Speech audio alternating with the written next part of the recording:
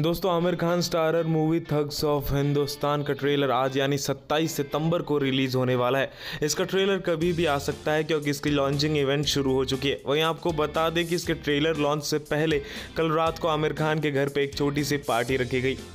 जिस पार्टी के अंदर काफ़ी सारे सितारे नज़र आए। जी हाँ दोस्तों, इस पार्टी के अंदर रणबीर कपूर से लेकर रणवीर सिंह तक सभी लोग मौजूद थे, जो कि एक छोटी सी हाउस पार्टी कर रहे थे। वहीं इस हाउस पार्टी के अंदर आलिया भट्ट, दीपिका पादुकोण, करण जौहर, शाहरुख खान, आमिर खान, रणबीर कपूर और रणवीर सिंह थे। जी हाँ दोस्तों, ये पार्टी आमिर खान के घर पर रखी गई थी और ये सब आमिर खान के घर पर स्पॉट हुए।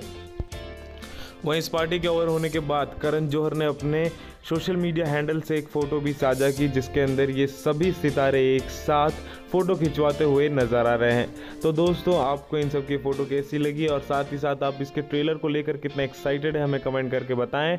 सब्सक्राइब करें देखो देखो क्योंकि बॉलीवुड से जुड़ी आपको हर खबर ये मिलती है सबसे पहले।